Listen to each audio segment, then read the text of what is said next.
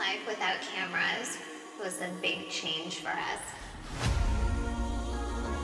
I think it's time to see a whole new side of the family.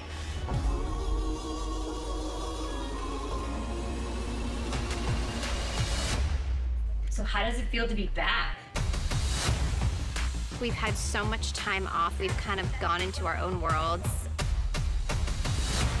I'm excited for this new chapter, and I've been in this game long enough to know that you just have to be yourself. They're gonna like you for who you are, not what you wear. I'm just kidding, obviously. My pregnancy is really public this time. I feel like we're being chased. Tristan and I are complicated. Trust takes time. Travis and I want to have a baby. Put the sample in this cup.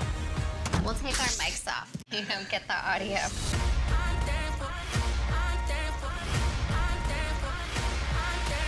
This is a relationship that I don't think anybody saw coming.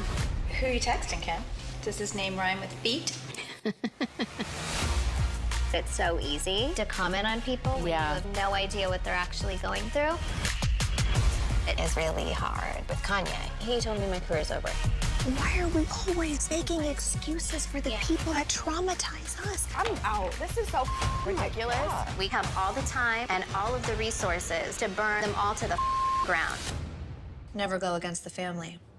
Never go against the family.